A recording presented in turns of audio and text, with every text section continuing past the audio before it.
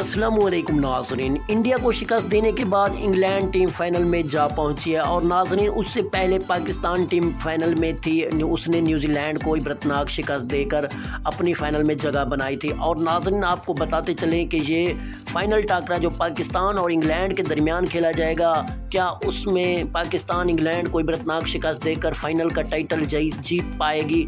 अगर जीत पाएगी तो दोस्तों, आपने हमें कमेंट सेक्शन में येस लिख कर बताना है। और नाजरीन, आपको ये बताते चलें कि ये फाइनल टाकरा टी ट्वेंटी वर्ल्ड कप 2022 का सबसे बड़ा टाकरा कल खेला जाएगा। और नाजरीन, पाकिस्तानी टाइम के मुताबिक अगर बात की जाए तो ये दिन के एक बजे खेला जाएगा, स्टार्ट होगा। और नाजरीन तकरीबन पाकिस्तान टीम में एक या दो बड़ी तब्दीलियाँ की जाएँगी इंग्लैंड के ख़िलाफ़ फाइनल टाकरे में, जो I C C T twenty World Cup 2022 का फाइनल टाकरा है, तेरह नवंबर को यानी कल खेला जाएगा।